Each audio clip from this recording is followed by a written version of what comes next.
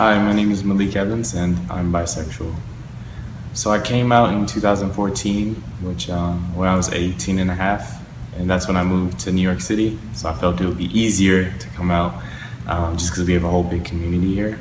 Um, what I found when I did come out was, although my family and friends still treat me the same and they still love me the same, um, people in my own community of LGBT felt differently about me, well, about all of us bisexuals. You know, they would say you're not, you don't exist, or you're transitioning, or it's a phase, or is that even real?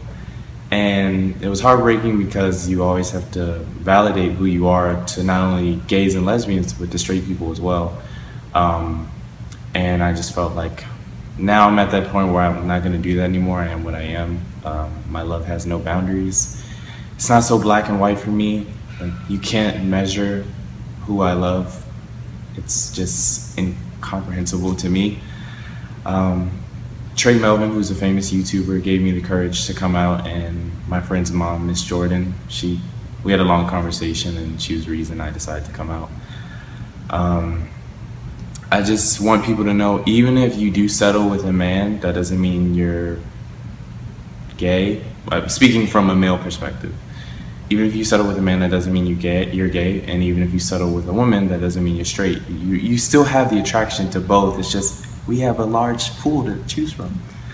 Um, so I hope that this changes the conversation with allies and even our own community of LGBT and just the whole world. I just want people to know that we are existent and um, can't change it. It is what it is. So I am still bisexual.